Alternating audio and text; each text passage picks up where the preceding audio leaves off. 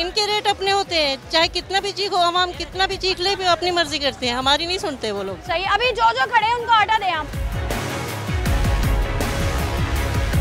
ये रेट्स लगे हुए हैं। ये लास्ट वार्निंग है अच्छा लोग रिक्वेस्ट ये कर रहे हैं कि चावल भी बहुत महँगे हैं। आप समझते हैं अशिया खुर्दनोश में जो ये इंपॉर्टेंट चीज़ें इनके प्राइस होने चाहिए कम। उनकी भी प्राइसेस हैं। उनकी भी गवर्नमेंट रेट्स हैं। ठीक है नाजायज मुनाफाखोरी करके क्या मिलता है भाई गंदुम जो आ रही है वो 115 120 रुपए आ रही है तो बंदा क्या बेचेगा?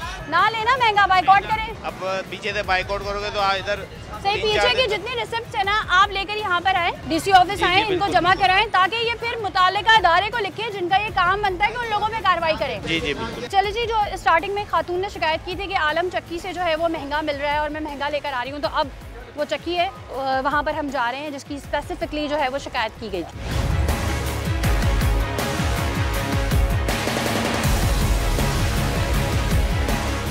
आंटी किस हिसाब से ले रही है? यहाँ भैया मिल ही नहीं रहा आटा। मिल नहीं रहा? नहीं यहाँ तो कहाँ मिल रहा है? अच्छा जी आटा ही उन्होंने एकदम से देना यहाँ पे बंद कर दिया है। देख लेते हैं। आटा किस हिसाब से ले रही हैं? हमें नहीं मिला यहाँ पे आटा यहाँ तो नहीं मिला? सब्ज़ी लेकर जा रहे हैं सही वैसे किस हिसाब से ले रही हैं? नहीं कोई पता नहीं। अच्छा फटाफट यहाँ पे चक्की का आटा का बैनर लग गया लेकिन यहाँ की तो शिकायत आई है भाई। ओनर बाहर खड़े हुए आप कहाँ कौन से हैं वो बाहर हैं ना देखे। वालेकुम अच्छा आपकी शिकायत आई है कि आप महँगा आटा बेच रहे हैं। हमारे पास रसीद है गंदुम 115 रुपए किलो आ रहा है पीस के 130 रुपए किलो बेच रहे हैं ठीक है? लेकिन हम पिछली दुकानों में देख कर आए वो तो 105 क्या वो तो सौ रुपए के जी भी बेच रहे हैं। वो तो फ्लोर मिल का आटा है वो 98 में हम बेच रहे हैं। अच्छा। वो आटा आ रहा है छियानवे रुपए किलो हम अट्ठानवे रुपए किलो बेच रहे हैं ये बहुत सही है तो ये कौन सा आटा आप बता रहे हैं जो महँगा आ रहा है? वो महँगा आ रहा है गंदुम का। जो गंदुम हम बाज़ार से खरीद के ला रहे हैं, जोरिया बाज़ार से, एक सौ में गंदुम मिल रहा है, गंदुम मिल रहा है और एक सौ किलो बेच रहे थे। सही है, चलें गोदाम चेक कर लेते हैं।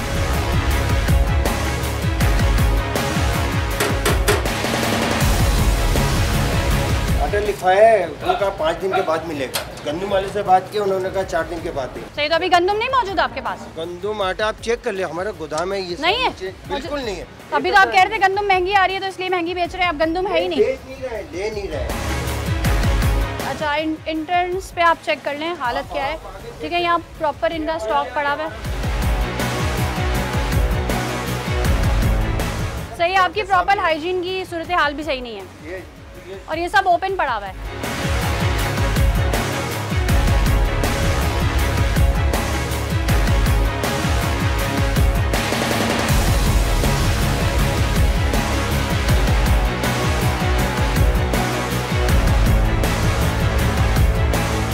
अच्छा अब बाहर इन साहब ने कहा था कि गंदम महँगी आ रही है, इसलिए हम महँगा बेच रहे हैं। अब वो ज़रा क्लिप ज़रा इनको दोबारा सुनाएगा अब हम अंदर आए तो गंदम का दाना तक नहीं है। गंदुम 115 रुपए किलो आ रहा है। पीस के 130 रुपए किलो बेच रहे हैं।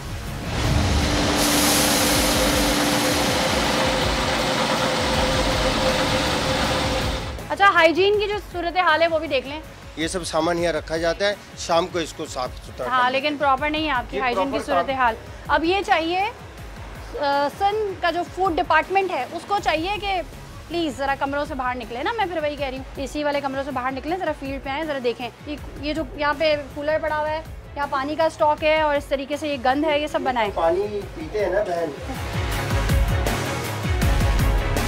इसने भी सस्ता नहीं किया। और रोटी का क्या कह रही? रोटी तीस रुपए की बेच रहे हैं। सही है। दूध वाली और जो है बाकी पच्चीस बेच रहे हैं। किसी ने बीस की हुई है। कम ही नहीं हो रही। सही है। अच्छा मैं अपने प्रोग्राम के तवसत से कमिश्नर कराची साहब से रिक्वेस्ट करती हूँ कि जिस तरीके से आटे की कीमतों का तयन किया गया है बिल्कुल उसी तरीके से रोटी की कीमतों का भी तयन करें।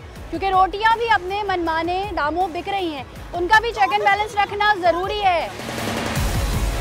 इतनी शुरू से इतनी महँगाई हुई है कि हम मर गए है, कितने की रोटी गया। लाती हैं? जितनी बारह तेरह रुपए की वहाँ से रोटी लेने आटा नहीं मिला कुछ नहीं मिला।